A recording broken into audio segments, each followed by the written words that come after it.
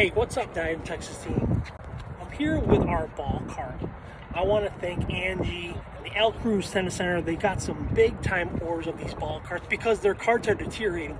But if this is your first time seeing this cart, I just want to kind of walk you through why you should consider this cart.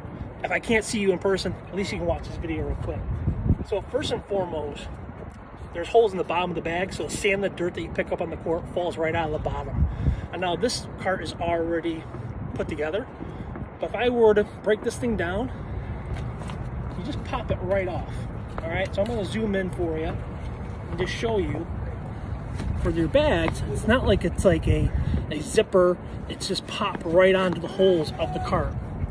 Now the legs, very lightweight, okay? Carry this around, put in your car, but let's zoom in on these real fast. These are rollerblade wheels. Have you seen this before? So these wheels are gonna last you over any court surface. You're gonna have a blast with these. Now, you may be watching this video and be like, well, I don't play tennis, I play pickleball.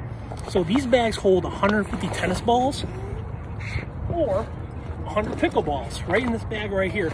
So you can get this right here, all right, this combo of legs and some bags, or you can get some additional replacement bags if you need more than 150 tennis balls or more than 100 pickleballs.